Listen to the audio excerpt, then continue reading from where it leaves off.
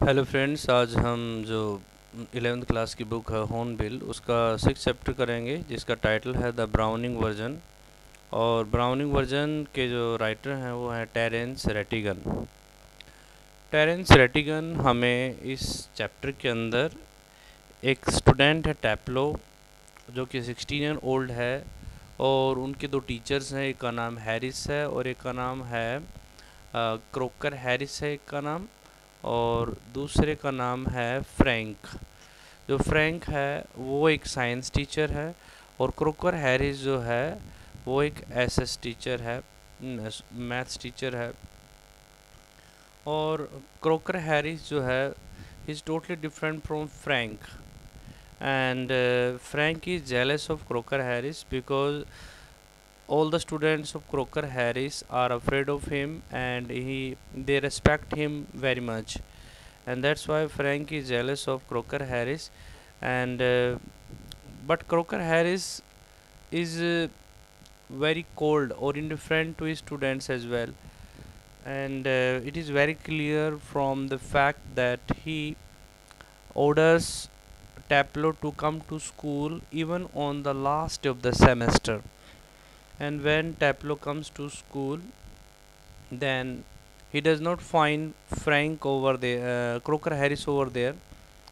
तो जो टैपलो है वो स्कूल में आता है और वहाँ पर ही इनका रेजिडेंस होता है फ्रैंक और क्रोकर हैरिस का। तो क्रोकर हैरिस वहाँ पर नहीं मिलता है स्कूल के अंदर और वहाँ पर वो वेट करने लगता है। तभी फ्रैंक वहाँ पर आता है जो कि एक साइंस टीचर है वो टैपलो से पूछता है कि what why are you waiting here Taplo replies, कि I have been called here by Croker Harris, my teacher. तो फ्रैंक कहता है कि, what makes you come here? तो यहाँ पर क्यों आए हो? तो बता देता है कि मेरे टीचर ने मेरे को यहाँ पर बुलाया है, क्योंकि लास्ट जो है सेमेस्टर में जो है मेरा एक पर्टिकुलर डे मैंने मिस कर दिया था। मैं आया नहीं था उस दिन क्योंकि मैं बीमार था उस दिन। और उसी वजह से क्रोकर हैरिस जो मेरे टीचर हैं, उन्होंने मुझे स्कूल में एज ए पनिशमेंट बुलाया है।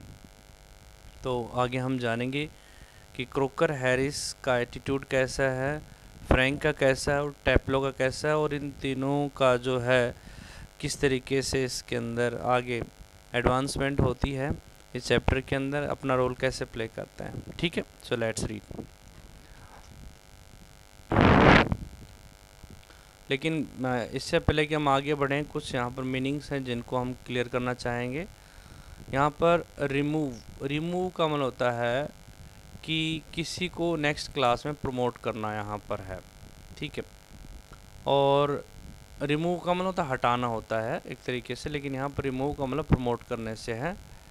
और स्लैकर्स का मतलब होता है those who shirk the work idler भी कह सकते हैं, जो काम से जी चुराने वाले होते हैं they do nothing they sit idle all the time so they those are known as slackers muck muck का मतलब होता है रबिश कूड़ा कचरा ऐसी मैन्योर जैसे खाद बोलते हैं, वो भी होता है।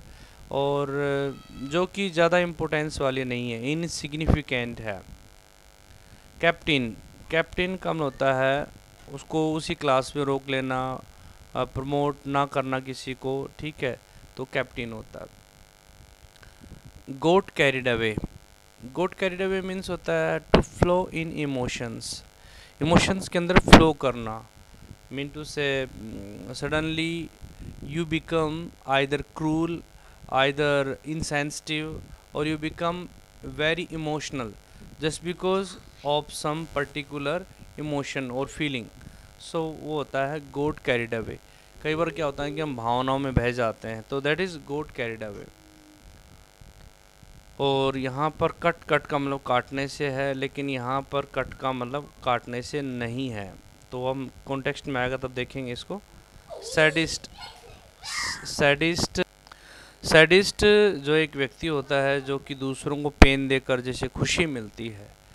One who gets pleasure from giving pain to others is known as sadist shrivelled up shrivelled up का मतलब होता है dry one who is very dry from heart जो दिल से बहुत ज़्यादा ड्राई हो इनसेंसिटिव हो तो उसे बोलते हैं शिविल्ड अप ठीक है? So let's read the chapter this is an excerpt from the Browning version और ये जो एक्सेप्ट है, यानी कि थोड़ा बहुत जो चैप्टर लिया गया अपना, ये ब्राउनिंग वर्जन से लिया गया है, जो कि एक प्ले है। The scene is set in a school और ये जो सीन है इसका प्ले का, वो एक स्कूल का सीन है। Frank is young and Crocker Harris middle aged Frank young है और क्रोकर हैरिस एक मिडल एज्ड है। मिडल एज का मतलब पैंतालीस और पचास साल का है। बोथ आर मास्टर्स दोनों टीचर्स हैं। Taplo is a boy of sixteen who has come in to do extra work for Crocker Harris Taplo एक सिक्सटीन ईयर ओल्ड बॉय है।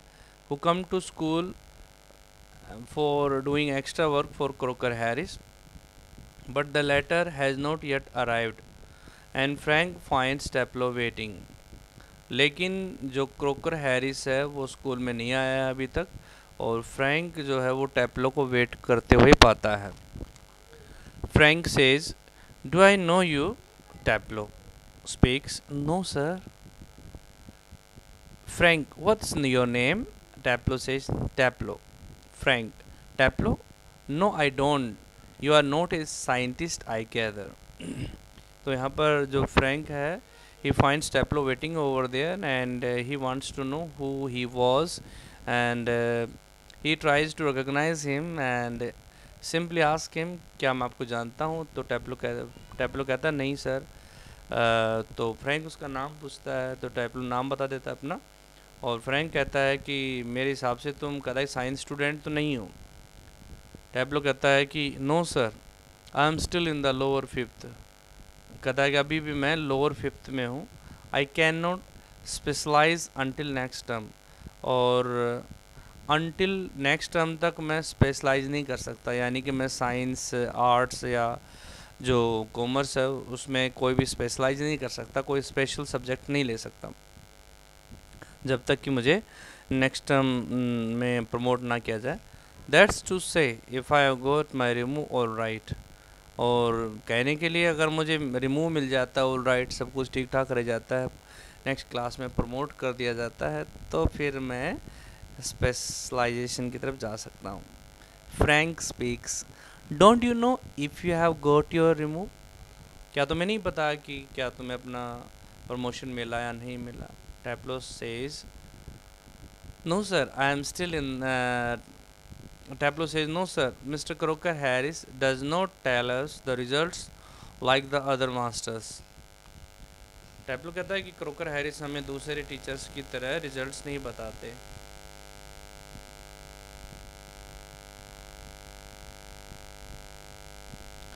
फ्रैंक सेज व्हाई नॉट क्यों नहीं Taplo speaks well You know what he is like sir टैपलो कहता है sir आप जानते हो कि वो कैसे हैं Frank says I believe there is a rule that form results should only be announced by the headmaster on the last day of term.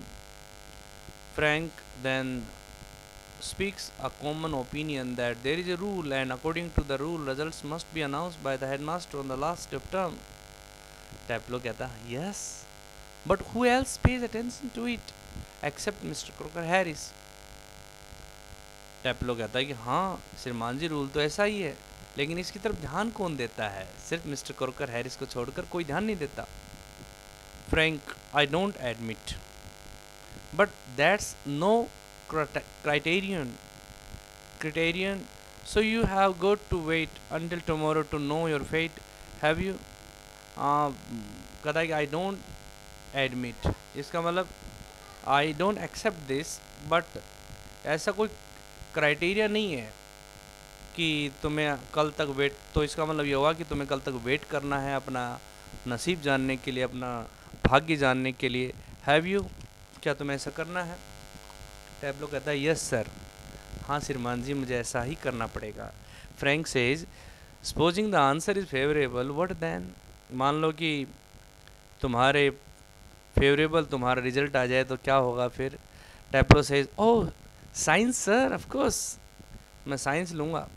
Frank sadly yes we get all the slackers अब Frank जो है वो science teacher है, वो sadly कहता, है हाँ हमें सभी स्लैकर्स ही मिलते हैं. स्लैकर्स का मतलब निठल्ले लोग जो बिल्कुल खाली रहते हैं आइडल है, वो लोग हमें मिलते हैं। Taplo protesting and extremely interested in science Taplo विरोध करता है इस बात का अपोज करता है टीचर की बात का, और कहता है कि, सर, मेरा बहुत ज़्यादा इंटरेस्ट है extremely interested in science sir Frank says are you I am not not at least in the science I have to teach लेकिन फ्रैंक जो टीचर वो कहता है कि, क्या तुम्हारा इंटरेस्ट है? हम्म, मैं तो इंटरेस्टेड नहीं हूँ साइंस के अंदर। कम से कम साइंस में तो बिल्कुल भी नहीं है मेरा इंटरेस्ट और जो मुझे पढ़ानी पड़ती है, फिर भी इंटरेस्ट नहीं है। Taplo says well any way sir it's a good deal more exciting than this muck indicating is book than Taplo shows is contempt and he says that is indicates at a book which he has जो उसके पास में book होता है, उसकी तरफ़ indicate करता है, इशारा करता है और कहता है कि इस मक से, इस रबिश बुक से तो ज़्यादा बढ़िया है। फ्रैंक बोलता है वट इज़ दिस मक ये क्या है? ये मक क्या है? टैप्लो बोलता है एसिलियस द एगमैनन ये एक बुक का नाम है, वो बोल देता है, और ये हिस्ट्री की बुक है। Frank and your considered view is that the is muck और तुम्हारा व्यू है, तुम मानते हो कि अगेन मैनन एक मक है रबिश है, तभी टैप्लो संभल जाता है। अब जो फ्रैंक है, वो जब इस प्रकार का कमेंट पास करता है, उस बुक के ऊपर तो टैपलो समझता है कि ये कहीं ना कहीं टीचर है आपस में और उसको बता ना दें क्रोकर हैरिस को तो वो फिर वो घबरा जाता है और बोलता है well no sir I don't think the play is muck खैर, नहीं सर मैं नहीं सोचता कि प्ले जो है, ये रबिश है, मक है, कूड़ा कचरा है। Exactly I suppose in a way it's it's rather a good plot really a wife murdering her husband and all that मेरा तो एक प्रकार से मानना है कि ये बहुत अच्छा प्लॉट है इसका। और वास्तव में एक पत्नी अपने हस्बैंड को मर्डर कर रही है, बस ये तो है इसमें। I only meant the way it's taught to us just a lot of Greek words strung together and 50 lines if you get them wrong और टैपलो कहता है कि मेरा कहने का मतलब यह है कि जिस तरीके से हमें पढ़ाया जाता है, बहुत सारे ग्रीक वर्ड्स हैं जो कि आपस में जिनका ताना बाना, बना हुआ है और अगर ना समझ में आए तो फिफ्टी लाइन्स ही हैं बस और कुछ नहीं है। Frank the teacher science teacher says you sound a little bitter Taplow Taplow तुम थोड़े से जो है ना, कड़वाहट से भरे हुए हो। Taplow am rather sir Taplow को था हाँ सर मैं थोड़ा भरा हुआ हूँ। फ्रैंक कैप्टन हाँ? अच्छा इसका मतलब यहाँ पर रोक लिया तुम्हें इस वजह से। Taplow says no sir extra work तो कैप्टन का मतलब यहाँ पर होता है कि तुम्हारा तुम्हें प्रमोशन नहीं मिला, तुम्हें उसी क्लास में रख लिया उस वजह से। तो एप्लो कहता नो सर एक्स्ट्रा वर्क के लिए मैं यहाँ पर आया हूँ. तो फ्रेंक कहता है extra work on the last of school तो देखिए Taplow speaks yes sir and I might be playing golf you would think he would have enough to do anyway himself considering he is leaving tomorrow for good but on no I miss a day last week when I was ill so here I am and look at the weather, sir Taplow जो है अब अपनी जो मन की भड़ास है मन की जो फीलिंग्स हैं उसको निकालकर बोलता है सर मैं बाहर गोल्फ खेल रहा होता। आप तो सोच सकते हैं सर कि he would have enough to do anyway himself और कदाई सर उनको खुद को सोचना चाहिए कि वो ऐसा सोच रहे हैं जैसे कल ही जा रहे हैं सदा के लिए सगोल छोड़ करके। बट ओ नो मैंने लास्ट वीक क्या किया कि एक मेरे से एक दिन मिस हो गया। जब मैं बीमार था वो भी। और देखिए ना, मैं यहाँ पर आ गया। मौसम तो देखिए सर तो टेपलो कह रहा है। फ्रैंक बोलता है bad luck still there is one comfort you are pretty well certain to get your remove tomorrow for being a good boy in taking extra class Frank बोलता है बैड लक लेकिन फिर भी एक बहुत ही तुम्हारे काम की बात है। तुम्हारे लिए बहुत ही सुकून देने वाली बात है कि तुम श्योर तो हो कि तुम्हें कल प्रमोशन मिल जाएगा नेक्स्ट क्लास में और एक्स्ट्रा क्लास लेने के लिए अच्छे स्टूडेंट बन जाएँगे आप तो इस तरीके से आपको नेक्स्ट क्लास में प्रमोट कर दिया जाएगा। Taplow speaks well I am not so sure sir that would be true of the ordinary masters all right They just wouldn't dare not to give a chap a remove after he's taking extra work. But those sort of rules don't apply to the croc. Mr. Croc Harris, I asked him yesterday outright if he had given me a remove and do you know what he said, sir?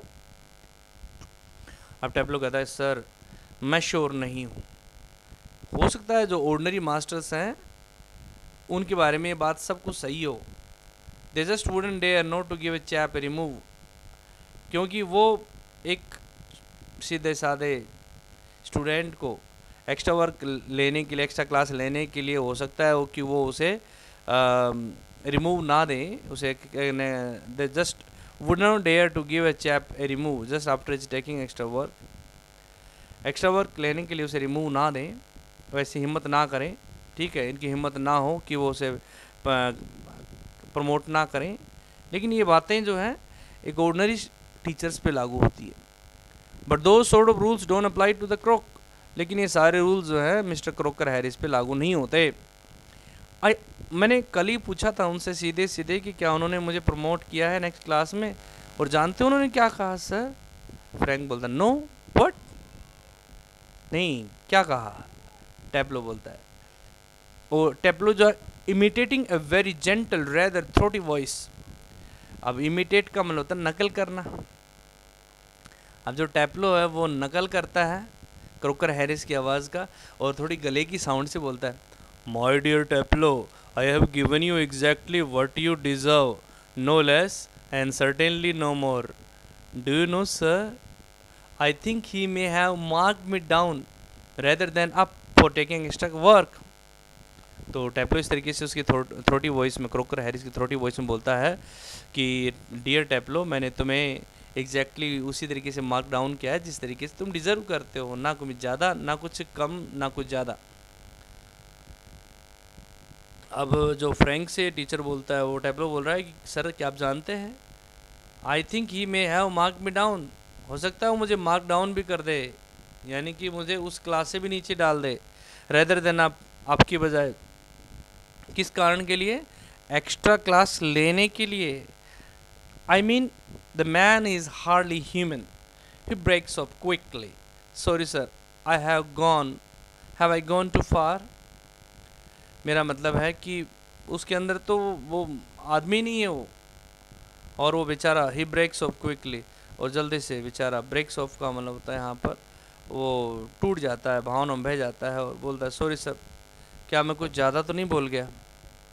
Frank बोलता है, yes much to फार हाँ तुम बहुत ज़्यादा बोल गए Taplow बोलता है। Sorry sir I got carried away sir मैं भावनाओं में बह गया था, फ्रैंक बोलता है teacher evidently he picks up newspaper and open it Taplow और ये स्पष्ट है, वो न्यूज़पेपर को उठाता है फ्रैंक और इसे खोलता है और बोलता टैपलो क्योंकि सर्दी का मौसम है तो उसके भी दांत बज रहे हैं तो बोलते टैपलो टैपलो बोलता है यस सर फ्रैंक बोलता है what was that Crocker Harris said to you just repeat it would you